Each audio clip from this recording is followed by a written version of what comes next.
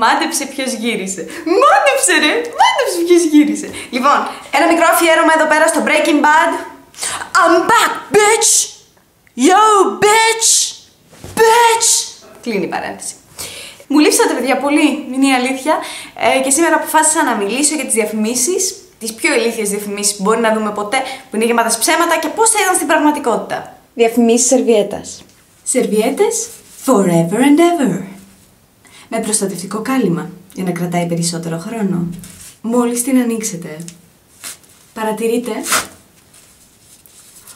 ότι έχει ειδικά φτερά προστασίας για να μπορείτε να κάνετε ελεύθερα υπασία, αναρρίχηση, ορειβασία, σκι. Άλμα επικοντό, άλμα εις μήκους, άλμα εις ύψους.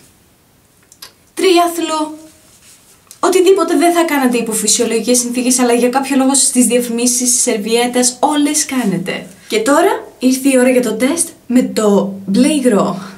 Δυστυχώς δεν έχουμε μπλε, θα το κάνουμε με πράσινο υγρό. Ναι, την έβαλα μέσα στην πανιέρα μου. Ας κάνουμε λοιπόν το τεστ με το πράσινο υγρό.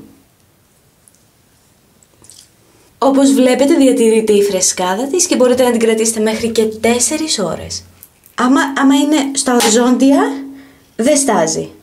Δεν ξέρω γιατί το κάνουν πράσινο υγρό ποτέ. Ε, Πάμε λοιπόν να σπάσουμε τώρα, πάμε να σπάσουμε τη διαφήμιση.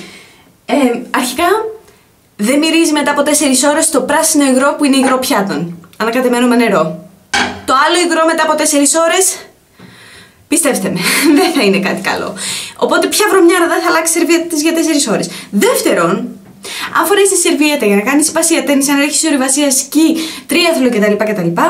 Πίστεψέ με, πίστεψέ με, θα είναι πάρα πολύ επώδυνο. Χρειάζεσαι τόνους βαζελίνης για να μην τσούζει το καλαράκι. Οπότε ταμπών.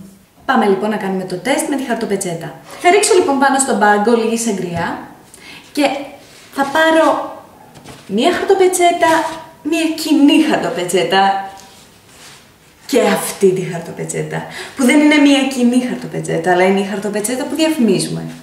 Πάμε λοιπόν να δούμε ποιο θα είναι το αποτέλεσμα. Ρίχνουμε λίγη σαγκριά πάνω στον πάγκο. Βλέπουμε λοιπόν ξεκάθαρα τη σαγκριά. Παίρνουμε την κοινή χαρτοπετσέτα που χρησιμοποιούν όλες οι νοικοκυρές. Και βλέπουμε το αποτέλεσμα.